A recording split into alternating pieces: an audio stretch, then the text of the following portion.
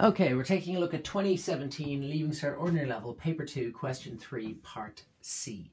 So they say this here, use trigonometry to find the measure of the angle ABD. So I'm just going to write that in notation, ABD.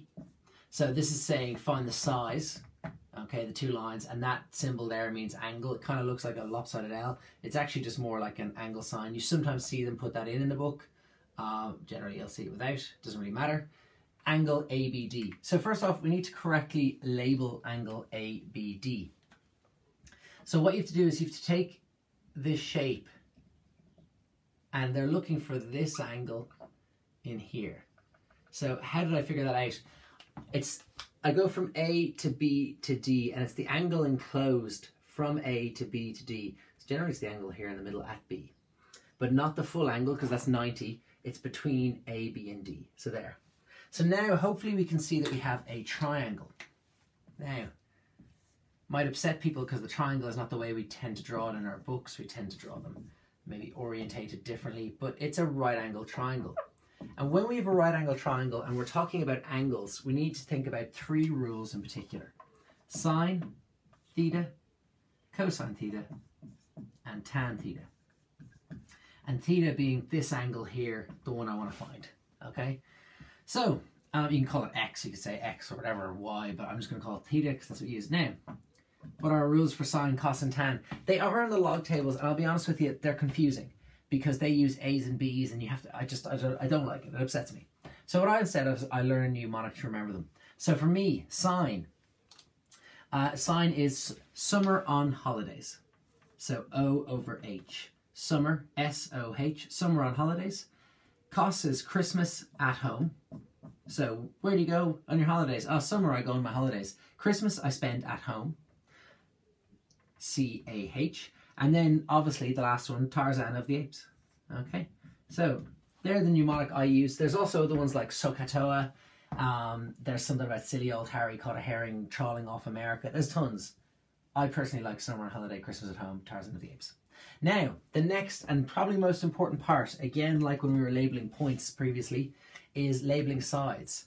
So we have three sides to a triangle. I'm going to just do a few practice ones up here. If this is my angle, okay, we have to label our sides. The hypotenuse, the H, is always the longest side. So it's always opposite the 90 degrees, okay? That's always your hypotenuse. The next one I always try to find is the one opposite the angle. And that's your opposite. And then over here is your adjacent, ADJ.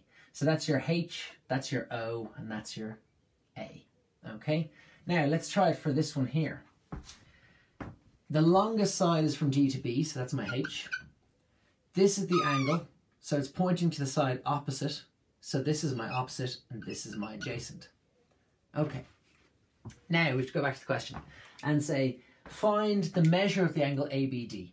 Right, so let's look at what information we have. We were told earlier that A to D was square root 5. And we were told earlier, or we found out earlier that A to B was square root 20. Okay? So which sides do we have? Well, we have O and we have A. So I'm going to use an equation with those two. So the equation I'm going to choose is this one because it has O and it has A. If I tried a different one, I couldn't solve it. Now, you can find out D to B. You could go do that. It's a lot of extra work, so I'm not going to. So I'm going to say tan of theta equals O over A. So I'm going to say tan, uh, tan theta equals the opposite, which is square root 5 over square root 20. Now, this is a nice indices rule as well. If you do square root of 5 and then divide it by square root of 20, you'll see that you get uh, a quarter, square root of a quarter, uh, square root of a quarter, which is a half. So we've got tan theta equal to a half. Now they said find your answer for the degree to the nearest degree. How do I get rid of this tan part with the theta? And this is where we need to do the tan inverse of the other side. So if it was cosine, theta, we would do the cos inverse of the other side. If it was sine theta, we do the sine inverse, but it's tan, so we do the tan inverse. And then we get our calculator. Make sure your calculator is in um, degrees. So you can do that by going to your setup and uh, picking deg for degrees. And I go tan inverse, so I press shift, the tan button. You'll see a minus one. You can put a bracket and write a half, or you can write 0.5, either will be fine. And I end up getting 26.565, yada, yada, yada. 26.565. 05118. Your calculator might get slightly different results if it's a slightly different calculator. And it says to the nearest degree. So let's take a look.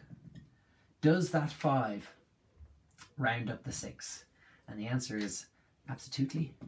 So this is 27 degrees. Okay, so have we used trigonometry? You betcha, because trigonometry is using sine, cos, and tan generally.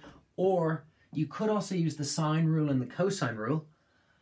I don't know why you would make it really hard, okay? Uh, it's easier to use sine, cos, and tan, but you're using uh, trigonometry in that case to find the angle ABD. That's it.